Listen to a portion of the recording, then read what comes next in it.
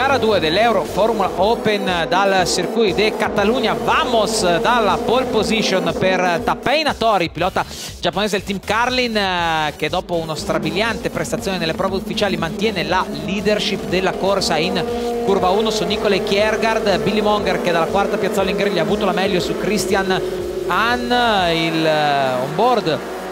di Tsunoda che è riuscito ad avere la meglio su Lucas Danner, dunque la rincorsa del pilota giapponese per le posizioni di vertice, il confronto per quanto riguarda le posizioni di rincalzo, l'ultima piazza fra Callan Williams e Rui Andrade, una corsa che non ha dato grandi soddisfazioni dal punto di vista dello spettacolo ma importantissima dal punto di vista della prestazione sportiva col podio di Billy Monger in terza posizione sempre all'inseguimento di Nicole Kiergaard danese che tuttavia non è riuscito a mettere sotto pressione il compagno inquadrato qui il giapponese Tapei Natori che conquista la prima posizione sul eh, primo gradino del podio in vittoria assoluta, la prima del nipponico che si aggiunge ai protagonisti del sollevante Marino Sato, Yuki Tsunoda e Oyo che hanno segnato il proprio nome nell'albo d'oro dei vincitori dell'Euro Formula Open.